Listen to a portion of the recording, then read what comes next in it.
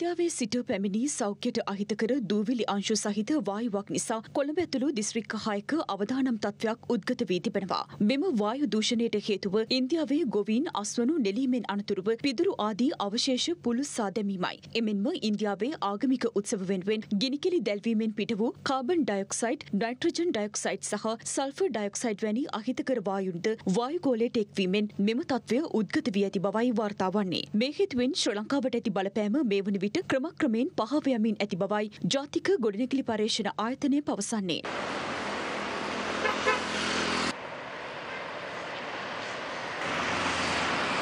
කොළඹ ඇතුළු බොහෝ ප්‍රදේශවල දූවිලි අංශු ප්‍රමාණය එකසිය පණහත් දෙසියත් අතර පැවති අතර අද වන විට එය සියයට අඩු ප්‍රමාණයක පවතින බවයි ජාතික ගොඩනැගිලි පර්යේෂණ ආයතනය ප්‍රකාශ කළේ. ඊයේ දවස තුළ ලංකාවේ බොහෝ ප්‍රදේශවල වායු ගුණ තත්ත්වය යම් වෙනසකට පත් වෙලා තිබුණා. ඒ කියන්නේ වායු දූෂණ තත්ත්වය වැඩි වැඩිවීමක් තිබුණා. විශේෂයෙන්ම සුළං ප්‍රවාහයත් සමග දූවිලි අංශු ප්‍රමාණයක් ලංකාවේ වායු ගෝලයට ඇතුල් වීම. මේ වෙනකොට ඒ තත්ත්වය දැන් අඩු වෙලා ගිහිල්ලා මේ වෙනකොට සාමාන්‍ය තත්ත්වයක් තමයි උදාවලා තියෙන්නේ. එයා ක්වොලිටි ඉන්ඩෙක්ස් අගේ 200 ගණන් තිබුණ ඒවා මේ වෙනකොට 100ට අඩු මට්ටමකට ඇවිල්ලා තියෙනවා. බොහෝ නගරවල ගුඩ් එයා ක්වොලිටි කියන 50ටත් අඩු මට්ටම සමහර ප්‍රදේශවල පමණක් 50යි 100යි අතර ඒ කියන්නේ සාපේක්ෂව වෙන අවුරුදු වල වගේ මේ කාලය තුල තියෙන වායු දූෂණ මට්ටමට සමාන මට්ටමකට ඇවිල්ලා තියෙනවා. මේ தත්ත්වය සුලන් දිසාව හෝ ඒවත් සමග විටින් විට වෙනස් වේ හැකි. පාටිං විශේෂයෙන්ම සඳහන් කරන්නේ යාකුලට මොන තත්ත්වයද කියලා.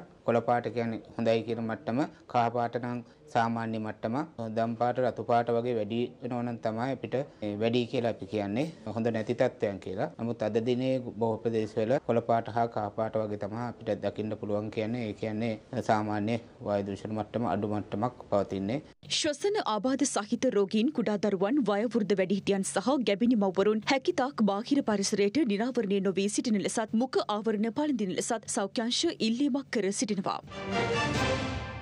රටේ ලෝකෙ සිදුවන උණුසුම් පුවත් දැනගන්න සියත නිවස් YouTube channel එක අදම subscribe කරන්න.